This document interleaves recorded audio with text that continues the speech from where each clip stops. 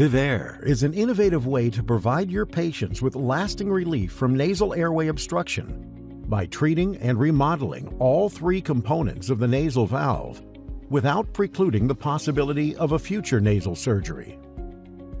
Using temperature controlled radiofrequency energy, VivAer treats nasal airway obstruction and nasal valve collapse to significantly increase airflow by increasing the radius at the most narrow part of the internal nasal valve.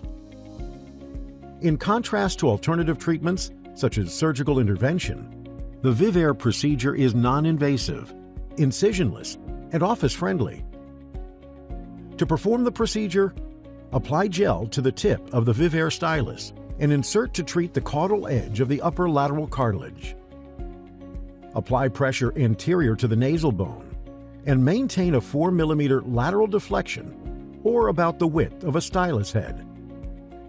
Initiate the 30 second treatment cycle by holding the foot pedal and maintaining lateral deflection. You will hear the console beep twice after 18 seconds of heating and again after 12 seconds of cooling.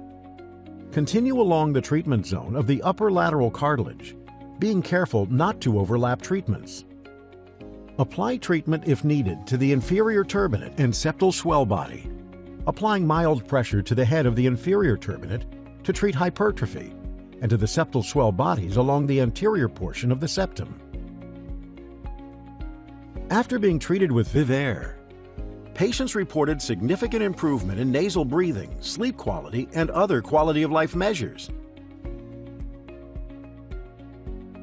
Connect with us today to learn how to bring VivAer into your practice.